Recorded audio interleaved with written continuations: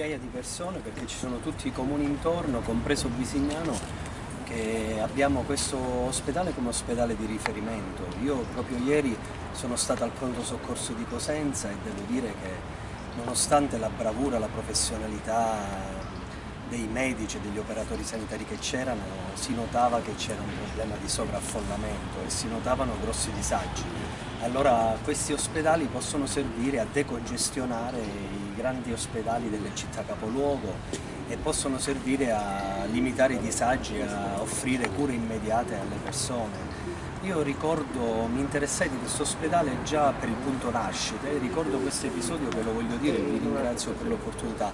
Qui è stato tagliato un punto nascite perché eh, c'erano meno nascite della soglia consentita che era 500, però mi ricordo che questo ospedale fece registrare un numero di parti naturali superiori alla media nazionale, che è un'eccellenza, cioè significa perché il parto naturale, diciamo scientificamente, è un parto più sicuro eh, del parto invece del parto cesareo.